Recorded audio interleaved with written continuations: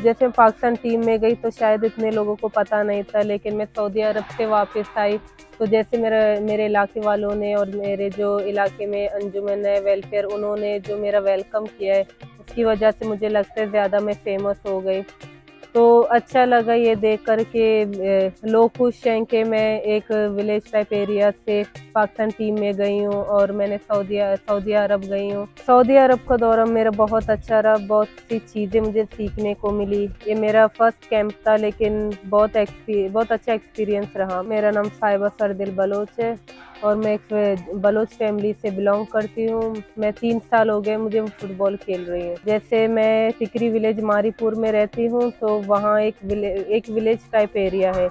लेकिन मैंने वहाँ से अपनी अपना जो शौक़ था, वो मैंने मुकम्मल किया। यहाँ मैं पहले जाफा सॉकर अकेडमी वहीं पे ट्रेनिंग करती थी। तीन साल मैंने जाफा में ट्रेनिंग की।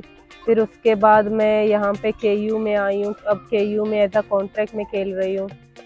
तो अच्छा सफ़र रहा। मैं इस सफ़र को आगे कंटिन्यू करना चाहती हूँ। और मैं ज़्यादा मेहनत करके पाकिस्तान टीम में, पाकिस्तान नेशनल टीम में जाना चाहती हूँ। तो मैंने ट्रेनिंग ज्वाइन करने के लिए तो मैं बस से ट्रैवल करके जाती थी। और जैसे ही मेरी ट्रेनिंग ख़त्म होती तो रात का वक्त होता था। जहाँ मेरा ग्राउंड है, जाफा जाफा का ग्राउंड है तो वहाँ पे मुझे मारीपुर के लिए बस नहीं मिलती। तो मैं वहाँ से दो तीन किलोमीटर पैदल चल के बस स्टॉप जाती थी। तो रास्ते में बहुत बहुत सी मुश्किल का सामना मुझे करना पड़ा। जैसे हर लड़की को करना पड़ता है। तो मैं चाहती हूँ हमें एक प्रॉपर ग्राउंड मिले मिले। जैसे टिकरी विलेज से मैं निकल कर आई हूँ।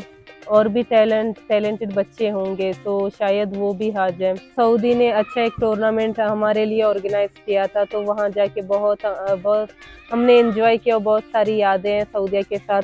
ये मेरा फ़र्स्ट टाइम था, लेकिन इस फ़र्स्ट टाइम में मैंने बहुत ज़्यादा इंजॉय किया और ये मेरे लिए हमेशा यादगार रहेगा। मेरे वालिद का जो ख्वाब था, वो अधूरा रह गया, लेकिन मैं उनका ये ख्वाब पूरा करना चाहती हूँ। उन्होंने बचपन में फुटबॉल खेला था, लेकिन रोज़गार रोज़गार की वजह से और गुर्बत की वजह से वो कंटिन्यू नहीं कर सके। इन तीन सालों में उन्होंने मुझे कभी भी मना नहीं किया कि आप फुटबॉल नहीं खेल सकती। घर वालों ने अम्मी ने भाई ने, भाई तो मुझे सपोर्ट नहीं करते थे, लेकिन अब जैसे मैं पाकिस्तान टीम में गई हूँ तो वो बहुत ज़्यादा खुश है और अब मुझे सपोर्ट भी करते हैं। जैसे मैंने अभी ये जर्सी पहनी है तो उन पर उनका ही नाम लिखा हुआ है, मेरे अबू का नाम लिखा हुआ है।